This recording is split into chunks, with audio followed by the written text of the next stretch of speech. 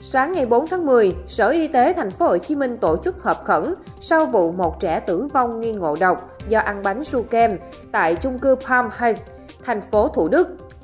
Các chuyên gia có nhiều kinh nghiệm về ngộ độc thực phẩm của ngành y tế thành phố thống nhất nhận định nhiễm khuẩn là nguyên nhân chính gây ra vụ ngộ độc này. Thực phẩm gây ra ngộ độc trong trường hợp này khả năng cao là từ bánh su kem, loại trừ xúc xích nướng, nước uống cũng được dùng trong tiệc trung thu. Nguyên nhân gây ra ngộ độc sau ăn bánh su kem khả năng cao là bánh đã bị nhiễm khuẩn. Do tất cả trường hợp ngộ độc đều có triệu chứng giống nhau liên quan đến nhiễm khuẩn thức ăn như sốt, đau bụng, nôn ói, tiêu chảy, bạch cầu máu tăng cao, CRB tăng cao. Trước đó, như báo Sài Gòn Giải phóng thông tin, chiều ngày 29 tháng 9, chung cư Palm Heights, thành phố Thủ Đức tổ chức trung thu cho các cháu là con em của những người sống trong chung cư và con em một số nhân viên phục vụ tại chung cư.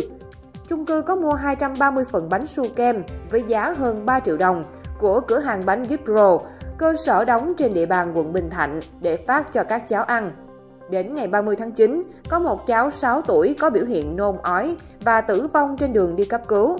Ngày 1 tháng 10, có 5 cháu ăn bánh có triệu chứng tiêu chảy, nôn ói, sốt, Đến sáng ngày 2 tháng 10 có nhiều cháu có trường hợp tương tự.